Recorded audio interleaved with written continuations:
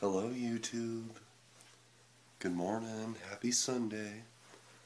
I'm just making a quick outfit of the day video because I'm going to church. And guess what, guys? I'm gonna actually be going on a date today. Yay, me!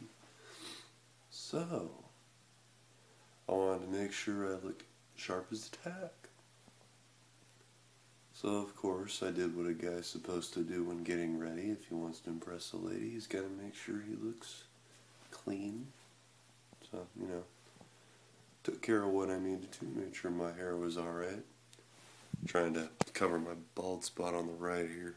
Starting to go bald, not liking it very much, but hey, it is what it is.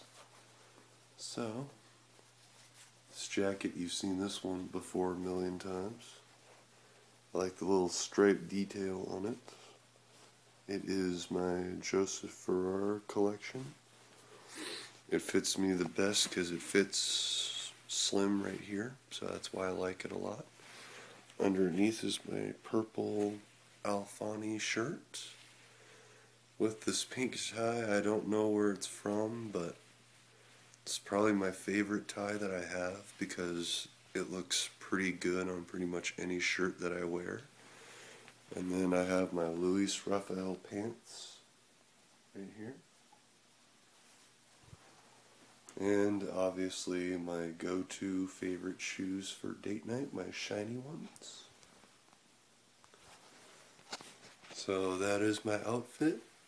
Wish me well on my date today. We're going to have lunch at Cheddar's, and then we're going to see the movie Me Before You.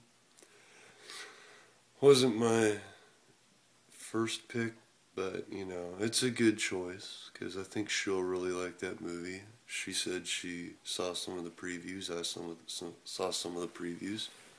I think it's pretty cute storyline.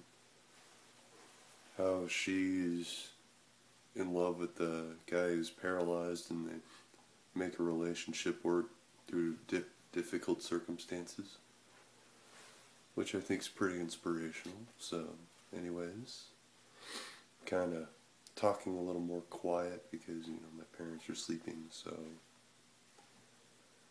I will talk to you later. I'll let you know how it goes in hopefully another video. God bless y'all. Happy Sunday.